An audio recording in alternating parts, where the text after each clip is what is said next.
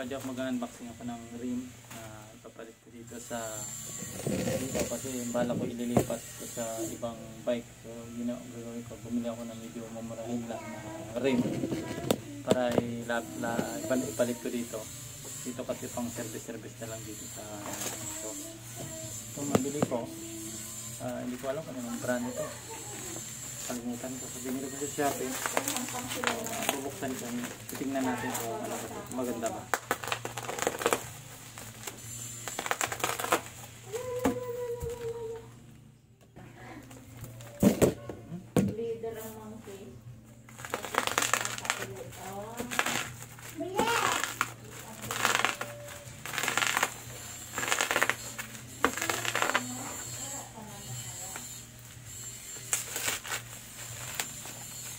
Hirap buksan to.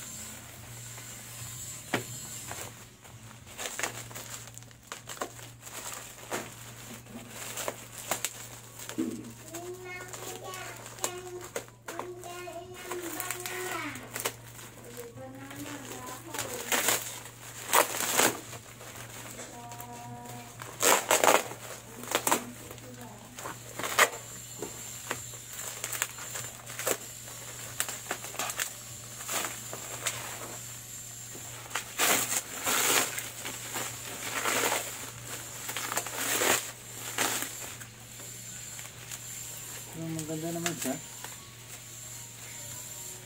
Ah, double, double wall. Ah, Okay naman yan. Saka Presta. Ah, Presta type yung ano niya, yung yung interior niya Presta.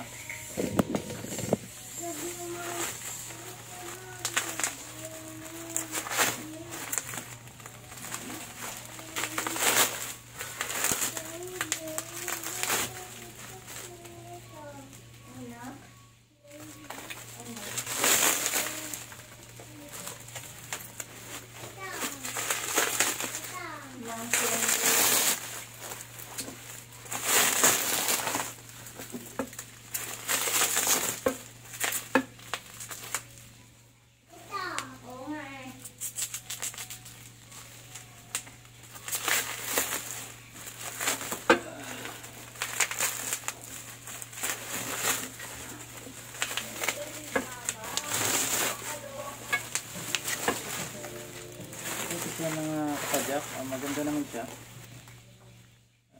Hin- hindi siya tubeless.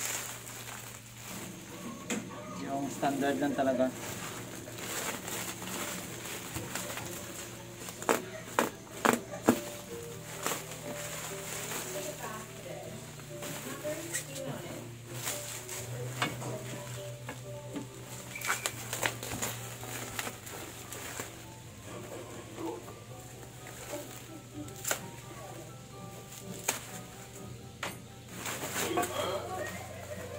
Siya, maganda naman siya yung brand. Ito makikita natin. Ah, Sagmet.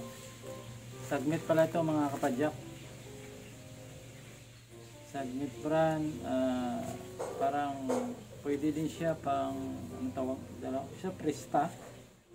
Pero may, may adapter naman siya. Pwede mo sa palitan para mapasok yung malaki. So ito yung ano niya. Sagmet 29 Air. Ayan mga panat papalit Evo 3. Evo 3 yung brand niya Sagmit. So maganda naman siya. Ayan, so so ipapalit ko yan dito sa ano,